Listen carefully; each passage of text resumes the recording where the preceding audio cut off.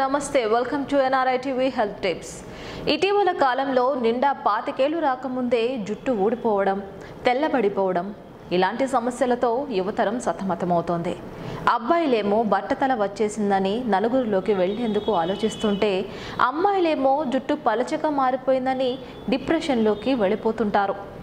జుట్టు సమస్యలకు ఎన్నో చిట్కాలు ప్రయోగించి విసిగిపోతూ ఉంటారు. అయితే జుట్టు సమస్యలతో బాధపడేవారు ఆందోళన చెందకుండా ఆలివ్ ఆయిల్ వాడితే పరిష్కారం ఉంటుందని చెబుతున్నారు నిపుణులు. ఆలివ్ నూనెలో ఉండే విటమిన్ ఇ ఇతరితర యాంటీ ఆక్సిడెంట్లు తల మీద ఉన్న చర్మాన్ని మృదువుగా చేస్తాయి. దాంతో మర్దన చేయడం వల్ల జుట్టు పొడిబారిపోవడం తెల్లబడడం వంటి సమస్యలు తగ్గడంతో పాటు కుదుళ్ళు దృఢంగా మారతాయి.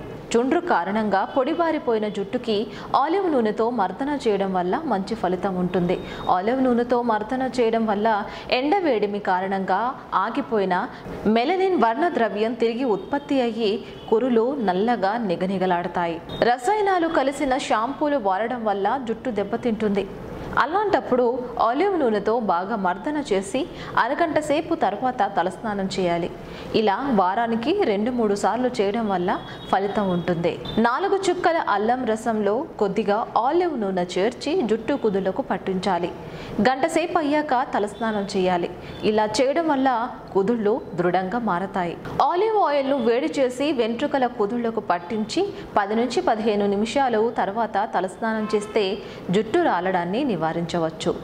ఆలివ్ ఆయిల్లో వెల్లుల్లి పొట్టును కాల్చిన పొడిని కలిపి తలకు రాసుకుంటే జుట్టు త్వరగా నెరవదు.